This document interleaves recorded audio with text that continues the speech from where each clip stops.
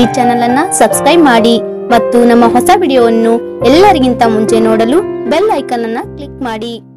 Hi friends ನಮಸ್ಕಾರ. ಎಲ್ಲ B P L ಕಾರ್ಡ್ದಾರರಿಗೆ ಸರ್ಕಾರದಿಂದ ಮತ್ತೊಂದು ಗುಡ್ ನ್ಯೂಸ್ ಬಂದಿದೆ. ಹೌದು, ಈ ಮಾಹಿತಿಯ ಬಗ್ಗೆ ತಿಳಿದುಕೊಳ್ಳೋಣ ಬನ್ನಿ. ಅದಕ್ಕೂ ಮುನ್ನ ನೀವು ಕೂಡ B P L ration card ಹೊಂದಿದ್ದರೆ ತಪ್ಪದೆ ಈ ವಿಡಿಯೋನ ಲೈಕ್ ಮಾಡಿ ಹಾಗೂ ಎಲ್ಲ ಬಿ ಪಿ ಎಲ್ ಕಾರ್ಡ್ದಾರರಿಗೆ ಈಗಲೇ ಶೇರ್ ಮಾಡಿ ಅವರಿಗೂ ತಿಳಿಸಿ.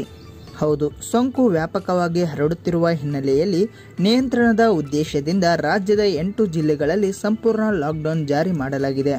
ಬೆಂಗಳೂರು ನಗರ, ಬೆಂಗಳೂರು ಗ್ರಾಮಾಂತರ, ಬೀದರ್, ಕಲಬುರಗಿ, ಯಾದಗಿರಿ, ರಾಯಚೂರು, ಧಾರವಾಡ ಹಾಗೂ ದಕ್ಷಿಣ ಕನ್ನಡ ಜಿಲ್ಲೆಗಳಲ್ಲಿ ಸಂಪೂರ್ಣ ಲಾಕ್ಡೌನ್ ಜಾರಿ ಮಾಡಲಾಗಿದೆ. ಇದೇ ರೀತಿಯಾಗಿ ಬೆಳಗಾವಿ, ಕೊಪ್ಪಳ, ಹಾವೇರಿ, ಹಾಸನ ಮತ್ತು ರಾಮನಗರ ಜಿಲ್ಲೆಗಳಲ್ಲಿ ಭಾಗಶಃ ಲಾಕ್ಡೌನ್ ಜಾರಿ ಮಾಡಲಾಗಿದೆ. ಶಿವಮೊಗ್ಗ ಸೇರಿದಂತೆ ಹಲವು ಜಿಲ್ಲೆಗಳಲ್ಲಿ ಇಂದು ಲಾಕ್ಡೌನ್ ಬಗ್ಗೆ ನಿರ್ಧಾರ ಕೈಗೊಳ್ಳಲಾಗುವುದು.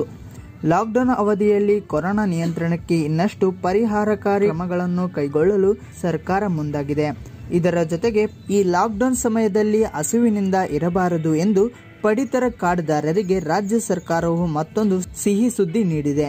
ಬೆಂಗಳೂರು ನಗರ ಮತ್ತು ಗ್ರಾಮಾಂತರ ಜಿಲ್ಲೆ ಸೇರಿದಂತೆ ಒಂದು ವಾರ ಲಾಕ್ಡೌನ್ ಇರುವ ಎಲ್ಲ ಜಿಲ್ಲೆಗಳಲ್ಲೂ ಎಂದಿನಂತೆ ಪಡಿತರ ಆಹಾರ ಧಾನ್ಯ ವಿತರಣೆ ನಡೆಯಲಿದೆ ಎಂದು ಆಹಾರ ಮತ್ತು ನಾಗರಿಕ ಪೂರೈಕೆ ಸಚಿವ ಕೆ ಗೋಪಾಲಯ್ಯನವರು ತಿಳಿಸಿದ್ದಾರೆ. ಈಗಾಗಲೇ ಸರ್ಕಾರ ಘೋಷಿಸಿರುವಂತೆ ಪಡಿತರ ಆಹಾರ ಧಾನ್ಯಗಳ ವಿತರಣೆ ಲಾಕ್ಡೌನ್ ಸಂದರ್ಭದಲ್ಲೂ ವಿತರಣೆ ಮಾಡಲಾಗುವುದು. ಅಂತ್ಯೋದಯ ಅನ್ನ ಯೋಜನೆ ಪಡಿತರ ಚೀಟಿಗೆ ತಿಂಗಳಿಗೆ ಮೂವತ್ಮೂರು ಕೆಜಿ ಅಕ್ಕಿ ಮತ್ತು ಎರಡು ಕೆಜಿ ರಾಗಿ ಅಥವಾ ಗೋಧಿ ವಿತರಿಸಲಾಗುವುದು ಎಂದು ತಿಳಿಸಿದ್ದಾರೆ. ಜೊತೆಗೆ ಬಿಪಿಎಲ್ ಪಡಿತರ ಚೀಟಿದಾರರಿಗೆ ತಳಾ ಮೂರು ಕೆಜಿ ಅಕ್ಕಿ, ಎರಡು ಕೆಜಿ ರಾಗಿ ಅಥವಾ ಗೋಧಿ ವಿತರಣೆ ಮಾಡಲಾಗುವುದು ಎಂದು ಸಚಿವ ಗೋಪಾಲಯ್ಯನವರು ಮಾಹಿತಿ ನೀಡಿದ್ದಾರೆ.